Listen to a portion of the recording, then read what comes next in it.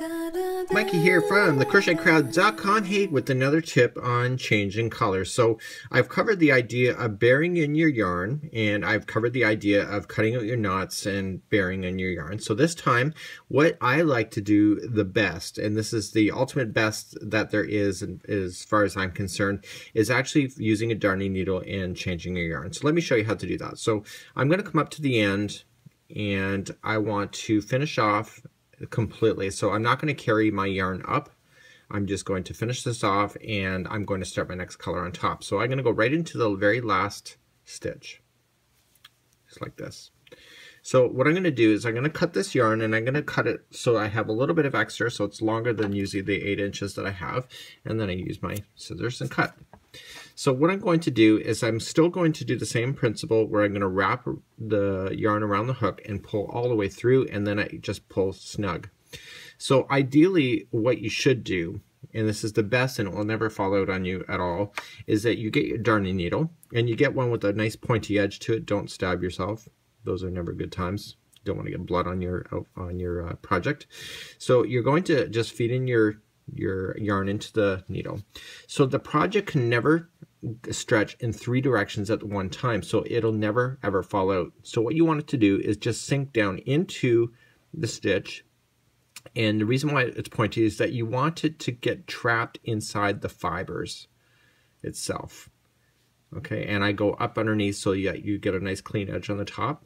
And I come out and I go about an inch and I pull through. Now what you want to be very careful is when you pull through, you don't want to be too tight with this. So don't keep pulling and pulling because it'll just um, deform your project.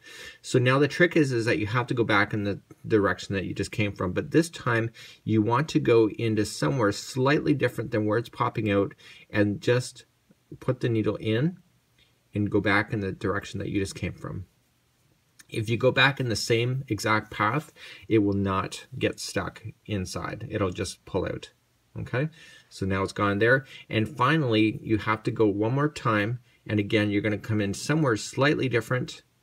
Again, underneath, into the fibers, and then out. Okay, and you pull on it like this and ultimately you can hide in your yarn. You have not messed with your stitches on the top and then you can just safely trim out your yarn. So what I like to do then is that I start up my next one. So let's go with red again. So I'm going to turn my project and I'm going to start off my, my red. And I start off in the same way as that I do a slip knot to begin. It's just peace of mind. It's the way I like to do it. Everybody has their own unique way. You go into the first stitch, wrap it around just like I did before in the other video and you pull through. And then I'm going to leave the straggler down on top so you still will have that one and you'll chain up three because it's double crochet because that's what I'm doing.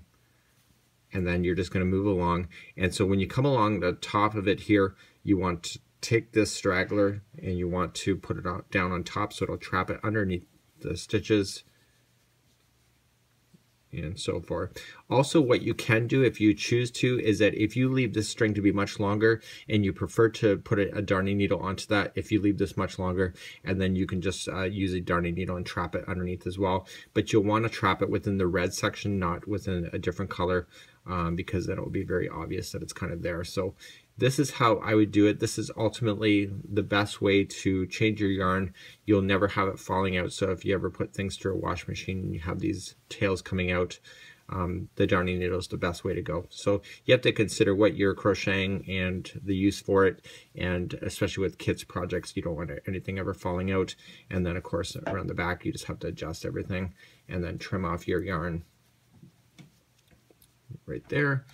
And that's good to go like so. And that's what I would do in order to, to do it using a darning needle technique, just like so. So that's what I have for you today. Thank you for joining me. It's Mikey on behalf of the crochetcrowd.com.